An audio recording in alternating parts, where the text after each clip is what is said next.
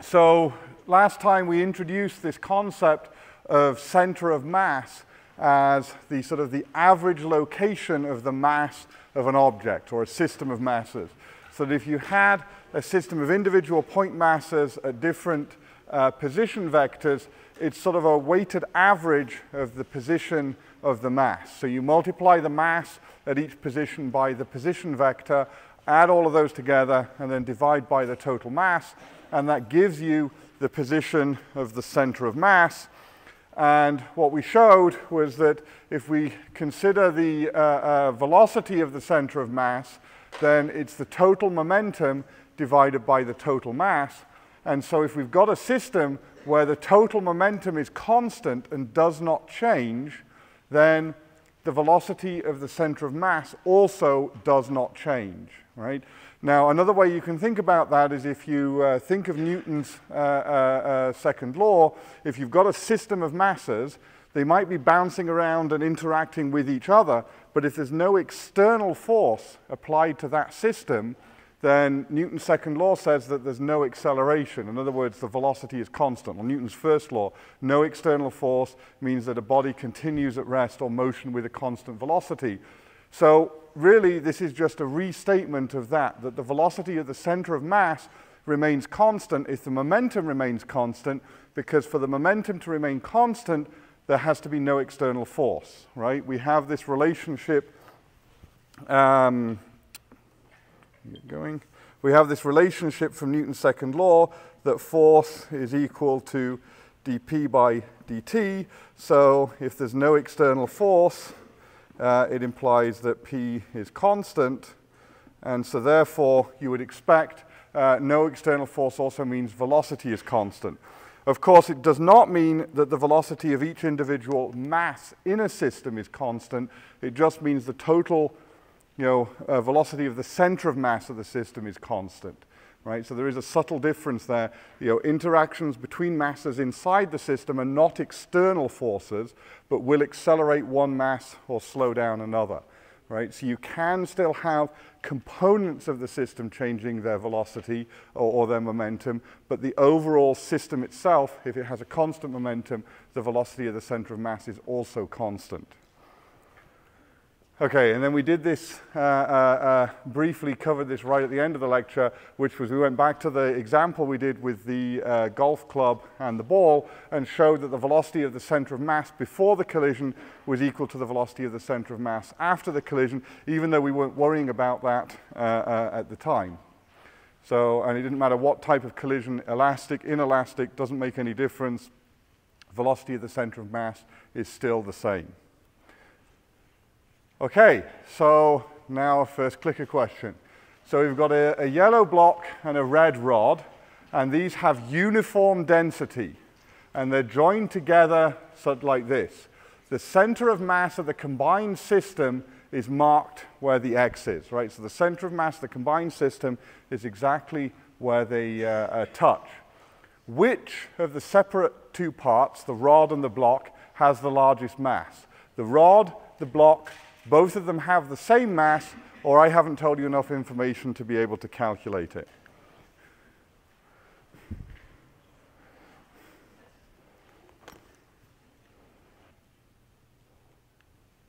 Okay, so uh, oh, that's interesting. So we have a we have a bit of a distribution. So uh, uh, B, C, and D seem to be the favorite ones. So uh, turn to your neighbor and try and convince them that you've got the uh, the right answer. Okay, so we better have another vote and see where people are.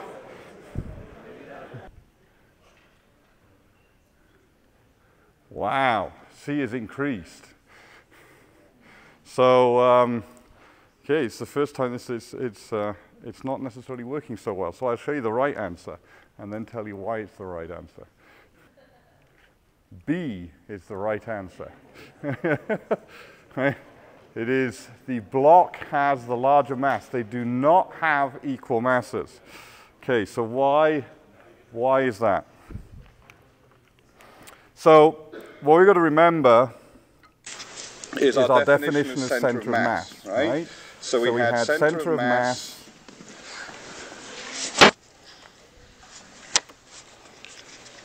is equal, to, to, the sum of, of the, masses, times, the, position, of the masses, divided, by, by the total, total number, of masses. masses. So this, so this is, our position of the centre of mass. mass.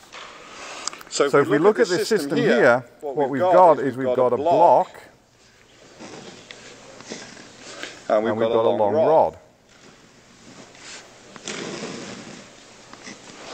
So, so if, we, if just, we just look, at the block, block right, we're told, we're told it's, uniform, uniform density, density, which means the, the, mass is uniformly distributed, distributed throughout, the, uh, uh, the, block. So if, so if we, look, at the block, we can, we can see, I think everybody, everybody will agree the centre mass of the block is in the middle of the block, right? Nobody, Nobody would disagree, with that, that yeah? yeah? Good. Good. Okay. okay. So, so, this, this is, is, the centre of mass of the block.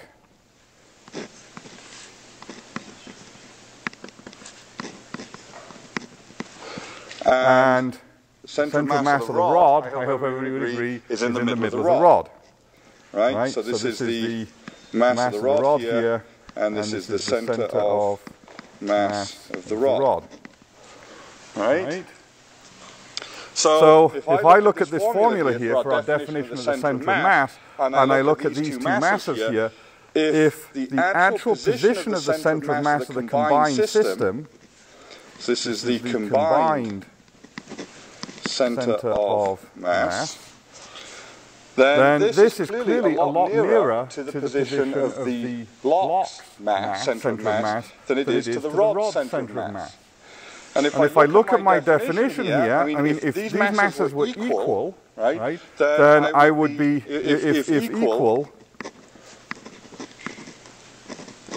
then, then what, what I'd be doing is, I'd be taking the mass of the, uh, uh, so these, equal masses, so I take mass times the position of the block, plus, mass times the uh, position of the rod, and I'd, and I'd be dividing by two times the mass, which would be this. And so, what I'd end up with is I'd end up with a half of the position of the block plus the position of the centre of mass, of the rod, and this, and this of course would then be the average of those, two positions, but the, average of these two centre of masses is about, about here, here, because, the, rod is longer, than, the, block. the block. So the centre of mass of the rod is further away from the point of contact than the centre of mass of the block because of the shapes of the two objects. Right? So if you look at this, you can, you can see, see, that, for the, two, two masses, to be equal, you'd have, you'd have to have it uh, uh, uh somewhere, into, into the rod, would be the centre of mass. The fact, the fact that the centre of mass happens to be at this junction here, between, between the two, means, means that, it's, nearer the centre of mass of the block, which means, the centre of mass of the block has a bigger weight when we take the averaging, and the only way that could be the case is if the mass of the block is bigger than the mass of the rod. Right? Does that, does make, that sense make, sense, to everybody? To everybody? Right? right? You're doing, You're doing an, averaging of the positions of the, two centre of masses of the objects that go together, and because, and because the combined centre of mass is nearer one of those two objects than the other, it means this must have a bigger weight in the averaging process, and so therefore that means this has a bigger mass. Right? So, so, the reason, the reason I, ask this is because, because it is very counterintuitive, right? The first, time, everybody sees this, they immediately think, well, they must be equal because it's where they join. But it's not. And the reason is because the rod has got a longer dimension, and the centre of mass of the rod is further away from where the two objects join than the centre of mass of the block. And so therefore, the two do uh, uh, not do not have equal masses if the centre of mass is where they join. Right? If they were, if both, they were both equal dimensions in the centre of mass where they join, then you'd, then you'd be right. But because, but because one, has got longer, in one dimension, dimension it's not, it's not the, case the case because, of the way, they're, averaged. averaged.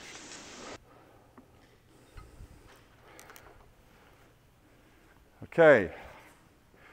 So last thing we're, we're going to do is um, in, in collisions and impulse and momentum is how we actually measure the coefficient of restitution. Right? So and this is also a particular, a, a, special type of collision. It's when things collide with walls, right? Or uh, photons bounce off. I think there was an example on one of the uh, past exams where we had photons bouncing off a mirror uh, and you had a change of momentum there. It's the same sort of thing. So when we're doing this sort of uh, uh, collision, then we cannot use constant momentum because what we're assuming here is that the ball is bouncing off the ground. Now, if we could measure the momentum change or the change in the velocity of the uh, planet, then you're right, we could do constant momentum and, and treat it as a collision between the Earth and the ball. Um, however, since the uh, Earth's mass is about 10 to the 24 kilograms and the ball is one, um, you know, the effect is, is not measurable. You don't notice the Earth shake every time a ball bounces off it. So in these cases, what we assume is we assume the ground is immovable. In other words, we assume that the, at this point there's an external force being applied to the ground to keep the ground from moving, right? So at this point, it becomes uh, uh, uh, hard to use constant momentum. However, our definition for the coefficient of restitution still holds, right? Because that is reliant on the properties of the materials that are colliding. It's not reliant on constant momentum. So what we can do is we've got a, a situation where we have the ball coming in to the ground. And before the collision, the ball has a velocity v downwards, and the ground, of course, is not moving. And after the collision, the ground, of course, is still not moving. And now the velocity that the ball has is v prime. So notice we're not going to be using constant momentum because clearly the momentum is not constant, right? The ground stays immobile and the velocity and the momentum of the ball changes direction. So we have non-constant momentum. But if we look at this, we can still define our coefficient of restitution because that's not dependent on constant momentum. So we have the relative velocity of separation, well, that's v prime minus zero, divided by the relative velocity of approach. Well, that's v minus 0, right? And so therefore, our coefficient of restitution is the ratio of the incoming velocity, uh, the outgoing velocity to the incoming velocity right? And since when you drop a ball, it tends to bounce lower and lower each time, this of course tells you that the coefficient of restitution is less than one, uh, but greater than zero. Because if it was zero, it would be like dropping a beanbag, right? You drop the beanbag and it just goes splat on the floor because the rebound velocity is zero. If you drop something like a tennis ball, each time it bounces, or one of those super bouncy balls, each time it bounces, it bounces to a lower height, um, and so that tells you that the coefficient of restitution is not quite one, um, but it's, it's certainly more than zero. And so the question now comes, how do we measure the ratio of those two uh, velocities? Well, I already gave you the hint there. What we can do is we can simply use our constant acceleration equations all the way back from the, the start of the course. And we know that when we've got an object with, uh, we've got our object here now, our ball, it's got a constant acceleration g in the downwards direction, uh, what we're going to do is we want to know the height it reaches after bouncing. So we drop it from a particular height. We can measure how high it bounces uh, uh, after that. And so we know uh, the initial velocity, well, that's the velocity that we uh, release it, uh, that it bounces off the floor with. So we know that. Final velocity, we know that because it's equal to zero at the maximum height that it bounces to. The acceleration we know because it's equal to uh, g or minus g, uh, depending on which way we're going to take as positive, uh, so probably minus g. Um, and then we have the displacement that we want to know because that gives us the maximum height and the time we don't care about. So if you put those variables together, the equation you get is v squared equals v naught squared plus 2as. And since our final velocity is zero, we've got a negative acceleration. If we take upwards as positive, we end up with that um, v is equal, v uh, naught is equal to root 2gh.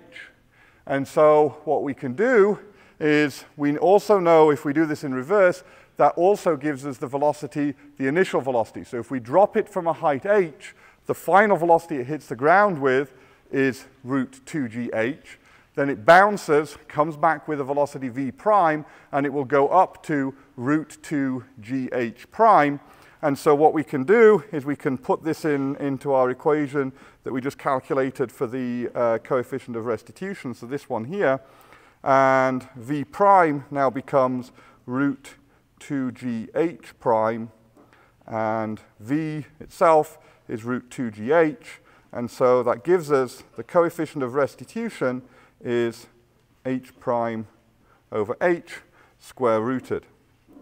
And so that gives us the means that we can use to measure the coefficient of restitution between two objects, right? You put one, uh, you, you make one a surface on the floor, you make the other a ball if you can, and you bounce it like that, and you measure the height of the rebound and the height that you dropped it from, take the square root of that ratio, and you get the coefficient of restitution. So this is a way that you can actually measure the coefficient of restitution uh, of two materials, uh, and you can then use that for your uh, uh, uh collisions. Okay, so any questions before we move on? Yeah. Pardon? Oh, okay, S in this is the maximum height of the bounce. Sorry, so this is, uh, so S is equal to the maximum height of the bounce. You measure how high it bounces, so when it stops moving further up.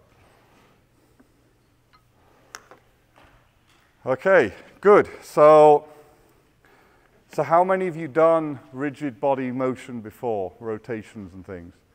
So a handful of you, right? So for most of you, this is where we finally have uh, departed from what you did at school and, uh, and, and are moving into something new. Right? So all we've dealt with so far, I mean, we have dealt a little bit with rigid bodies, but the only thing we've ever discussed so far is linear motion, right? So we talked about accelerations in one and two dimensions, but nevertheless it was linear. It was in a line. It might have been a curved line if we were doing it in two or three dimensions. We did circular motion, which of course is curved, um, but it was motion in a line. Now, once you've got a rigid object, you've got more degrees of freedom than just linear motion. I can be moving in a line, but I can also spin, right? If you've seen the figure skating uh, uh, at the Olympics uh, uh, earlier this year, right? You've got figure skaters moving across the ice and they spin as they go. And so they're uh, uh, an example of a, well, okay, maybe not rigid because they can move, but it's an object with finite dimensions spinning and moving in a straight line as well. And so far, all we've ever dealt with is moving in a straight line. So, you know, you can explain how they managed to skate in a straight line and the, the physics of that, but the moment they start spinning, we've got to start being very, very careful. So what we have, what we're going to end up with is uh, a parallel with one-dimensional kinematics. So all the constant acceleration equations and things like that, we're going to revamp these now for rotational motion. So obviously when we're talking about rotation, the, the linear things like linear displacement, velocity, and so on aren't going to work. Instead, once you're rotating, what you measure, of course, is an angle. And so the angle that you rotate through. And so instead of having a displacement as a distance in meters, what we're now going to have is a displacement being a, a angle. So the number of radians that you turn through. That's the other difference is, is that when we do these things, we need to use natural dimensionless units. And that means we use radians for our angles. You may have questions that give you angles in degrees or even ask for an answer in degrees. But in that case, you have to convert, you have to do all the equations. The numbers you put into the equations must be in radians. And then you do the conversion to degrees at the end, or you do the conversion from degrees to radians to start with, do it, and then convert it back. So, uh, uh, so that's the first thing, because we need to use dimensionless uh, units and degrees, while the dimensionless have a constant in front of them. Radians are a ratio of meters to meters, and so cancel out. So we have a velocity, well, if our displacement, velocity in linear case is uh, meters per second, so if we have an angular displacement, we've got an angle rotated through per second, so that will be radians per second. And then similarly, instead of acceleration, we're going to have to have the rate of change of angular velocity, and so that gives us an angular acceleration. So there are going to be a few differences though, right? Because a displacement is an angle and it's not a distance. So if I set off in a straight line in that direction, I will never get back to where I started. In fact, we know that now because we've, uh, uh, the recent results from the WMAP probe from NASA have shown that the universe's acceleration is expanding. Um, before that, we might have lived in a closed universe, and so if I'd have set off in that direction, you know, my great, great, great, great grandchildren may have come back to where I started. Um, but now we know the universe is not closed, and so if you set off in a straight line, um, you will not end up back where you started. But with angular displacement, of course, you do, a lot quicker than you would with the universe right? So uh, with angular displacement, if you set off, uh, if you rotate through uh, 2 pi radians or 360 degrees, you end up exactly uh, back where you started, right? And so that's worth bearing in mind um, because that sometimes uh, uh, comes into the um, questions. The other thing is here is that like the one-dimensional case, I said one-dimensional kinematics, well, in one-dimensional kinematics, you can have positive displacements or negative displacements. So in this case, obviously, if you displace far enough, you get back to where you started. So here the sign just gives what direction you're rotating in. So clockwise or anti-clockwise or counterclockwise, whatever you prefer for the non-clockwise version, right? So the sign gives you whether you're rotating clockwise or anti-clockwise. It doesn't tell you anything else, right? It just tells you which uh, direction you're going, with the clock or against the clock. Okay, so radians, just a quick refresher. I think we covered that. There was one spurious uh, slide uh, when we were talking about rotational uh, uniform uh, circular motion. This is just to revamp it. The angle in radians is the arc length divided by the radius of the circle. So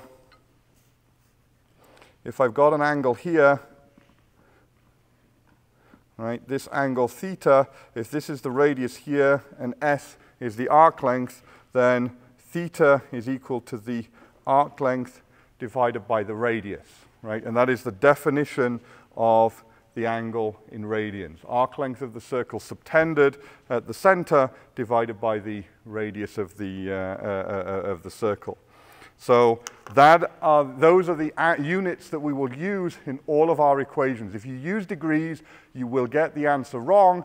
And the reason for that is, is that radians have this natural meters divided by meters. So there's no, you know, the constant term associated with them is one, because uh, you want something that's dimensionless.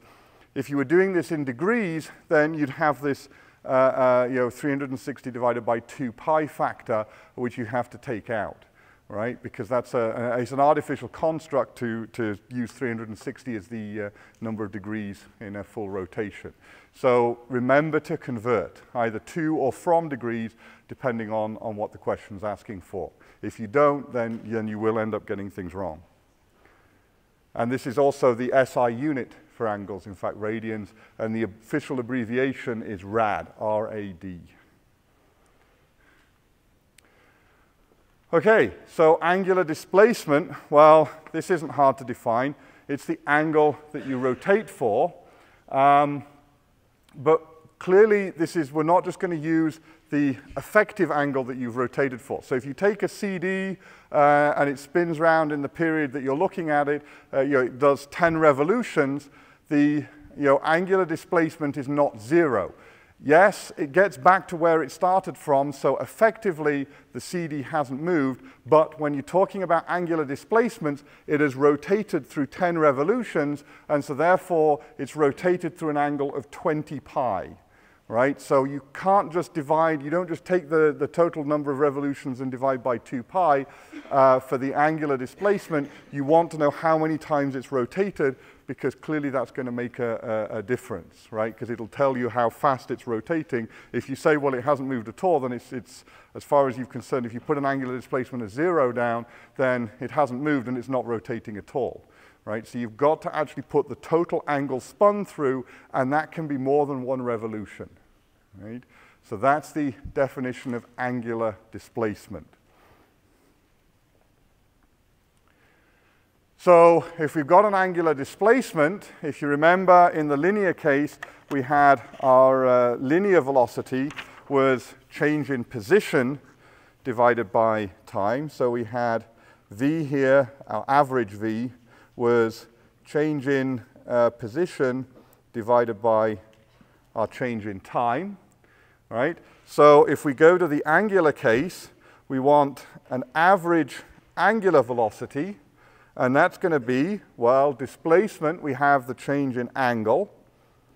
So that's our angular displacement divided by the time it takes to do it. And so we end up with the average angular velocity being the angular displacement divided by the time, right? And that tells us how fast we are rotating. Just like velocity tells us how fast we're moving in a straight line. So of course, we can do just as we did with velocity. So if we started with our average uh, um, uh, velocity, what we did to get the instantaneous velocity is we said that our velocity vector was the limit as delta t goes to zero of um, uh, uh, delta s by delta t, which is just ds or dx, whatever you want, by dt, and that gives you the velocity vector. Well, we can do exactly the same here. We can say that our instantaneous angular velocity is the limit as delta t goes to zero of the change in angle divided by the change in time, and so that equals d theta by dt. Now, I'm also going to uh, introduce another notation here because you commonly see this when dealing with rotations. In fact, physicists also use it when dealing with linear displacements as well, but that's somewhat less common. And this is the so, so the typical notation we use when differentiating d theta by dt is the notation that Leibniz came up in his version of calculus because it's a lot more explicit. It tells us we're differentiating theta with respect to t. But Newton, who came up with calculus at the same time, developed a, he was interested in developing it for exactly the sort of problems that we're dealing with here, mechanics. And so as far as he was concerned, he was always differentiating with respect to t, so he didn't want to write in d theta by dt all the time. What he did was he wrote it by putting a dot over the top of it. So theta dot means d theta by dt. And as we'll see in a minute, when you do the second differentiation, you put two dots over the top, so it becomes theta double dot. And you can also use this for displacement. So you can write uh, um, v as being x dot. Uh, that you see less frequently, but I am going to introduce this because, simply because you may well encounter it in textbooks. Some textbooks still use it. I'm not, I think even your textbook uh, deals with it a little bit. Certainly the optional textbook covers it, and a lot of other texts use it as well. So I'm just going to introduce it so that you're familiar with the notation. It's not just to add another notation to confuse you. It's because this is one that is in common use and you will encounter, right? The Leibniz notation is definitely the better notation because it explicitly tells you what you are differentiating um, with respect to what, which is why that is the one that we use the most. But when it comes to Newton, uh, when it comes to mechanics, uh, it quite often we'll use uh, Newton's, nuta Newton's, nuta Newton's notation. um, and nutation is something we'll deal with later with gyroscopes. Uh, so Newton's notation uh, uh, to denote acceler angular accelerations and angular velocities because it's a bit of a shorthand, right? And physicists don't like writing. Okay, so that's angular uh, velocity. Oh, last thing to mention, of course, is that you've got an angle, d theta, in radians, dt is in seconds, and so therefore angular velocity is in radians per second. So rad s to the minus 1. Okay, so if you were noticing, I kept putting little arrows over the tops of things here, and that is because angular velocity is a vector, right? It has a direction, just like angular displacement, and in fact, when we deal with it, angular acceleration, right? These are vector quantities.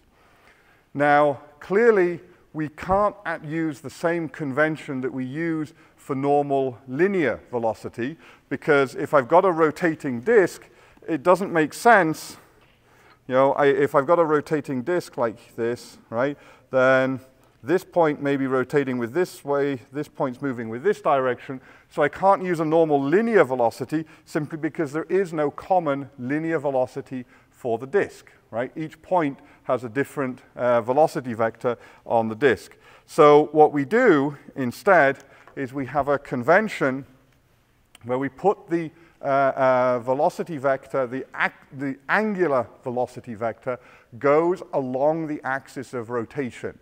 So, and the direction it goes is if you use your right hand, even left-handed people, I'm afraid you have to use your right hand, and you curl your fingers in the direction of rotation, your thumb will point in, along the axis in the correct direction for the vector. Right? So this is the convention that we use. I mean, we could have used the left hand, uh, a left-handed one as a convention, but there's more right-handed people than left-handed people, so I'm afraid uh, uh, left-handed people lost out and um, we use our fingers, um, thumb points in the direction. But we all have to use the same convention, otherwise we will get answers wrong, right? So apologies to those of you who are left-handed. Uh, uh, you just have to put up with this, I'm afraid. So curl the fingers of your right hand, your thumb points along the axis in the right direction for the axial velocity vectors and displacement vectors, and in fact, uh, uh angular acceleration vectors as well. Okay, so first question. So we've got the London Eye is the world's largest uh, big wheel, Ferris wheel, whatever you want to call it, and it makes one revolution in 1,200 seconds, so it's not exactly fast. What is its average angular velocity? Right, so what is the average angular velocity for the London Eye? And those are your options. We got D, Bingo, excellent, okay.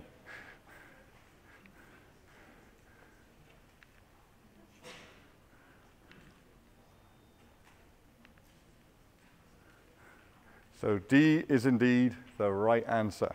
So why is that the case? Well, you've got this big wheel. It takes 120, so it takes 120, uh, sorry, 1,200 uh, seconds to make a complete revolution.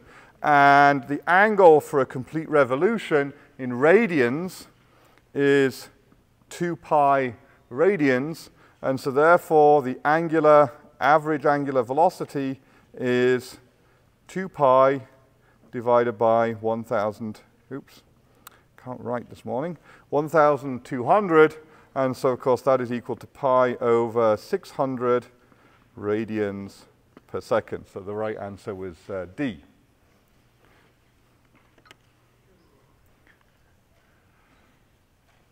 Okay, so supposing we have an object now, though, that rotates through an angle um, given by this, where theta is 3t squared plus 4t minus 3. In this case, what is its instantaneous angular velocity?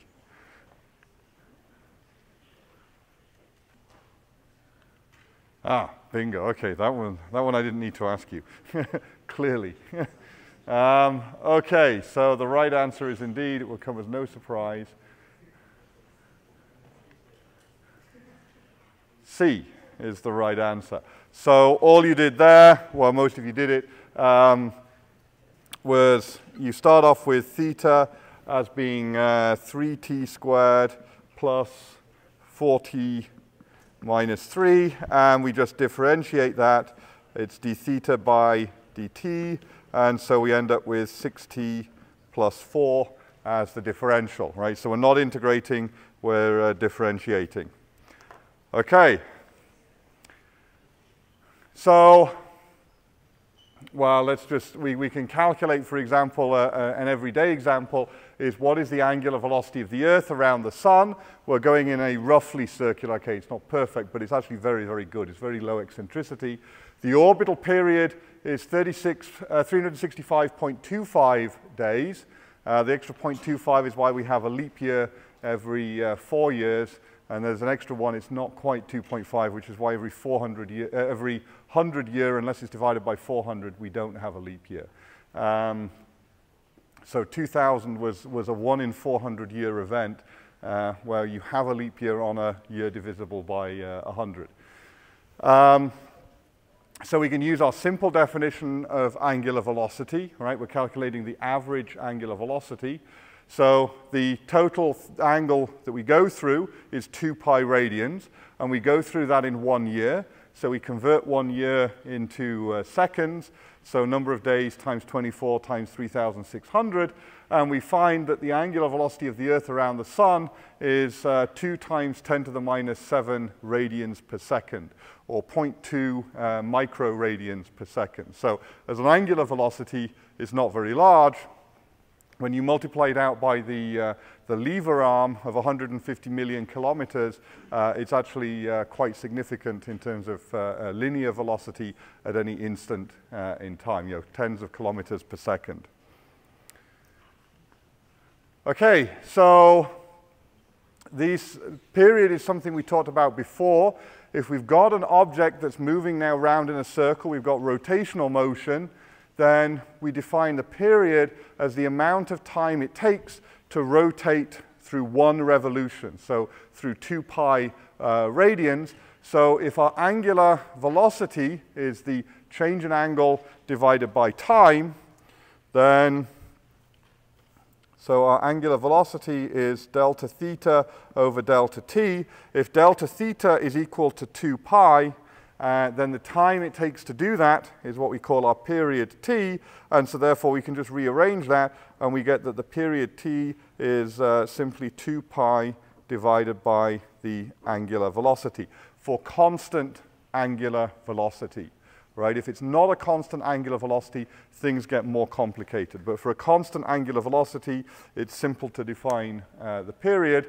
And then the other thing we want to be able to do is relate are angular velocities to linear velocities.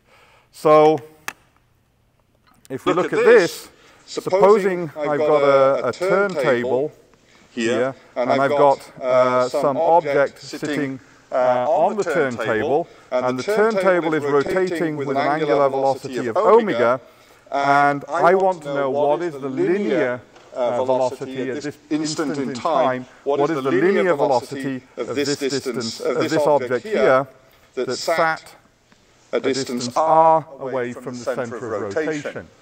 Well, if I look at this, right, what I've got is I'm going to rotate through some, after I've rotated through some angle theta here, right, it's, this is the radius r. This arc length here is simply r times theta. And that, and that comes, comes from the definition of theta in radians per second. Right? right? Radi sorry, uh, in radians. A radian is the arc length divided by the radius, so I just rearrange that, and we get that the arc length is r times uh, uh, theta. So this here is my displacement. So if I take a very, very tiny instant in time,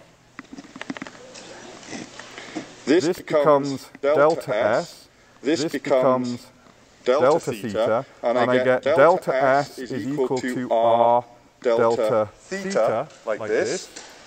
And, and so, so, now, and this occurs in a time delta t. So, so if, if, I look at an object that's sitting here and it moves around this arc length, the instantaneous velocity of this object is its change in displacement, which is going to be delta s, divided by delta t. Well, delta s is just r delta theta divided by delta t.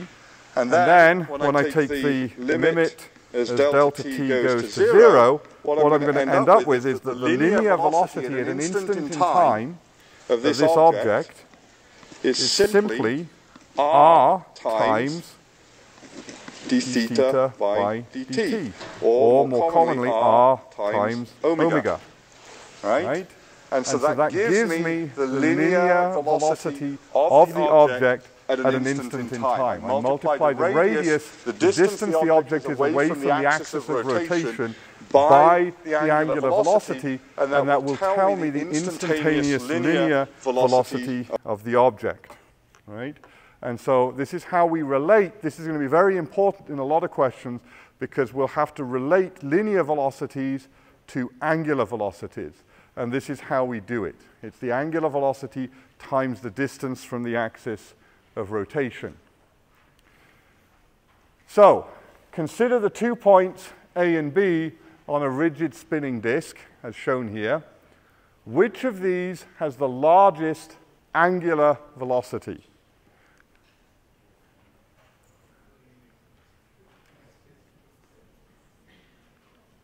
Whoa, okay. So we've got a 50-50 split uh, between A and C. Okay, well, I, think, I don't think we've got time for the discussion session, so I will, I will leave you with a cliffhanger this lecture. Uh, so on uh, uh Wednesday, come back and uh, we'll do this again, see if anybody's changed their mind, and then I'll tell you what the, uh, the right answer is. So see you all on Wednesday.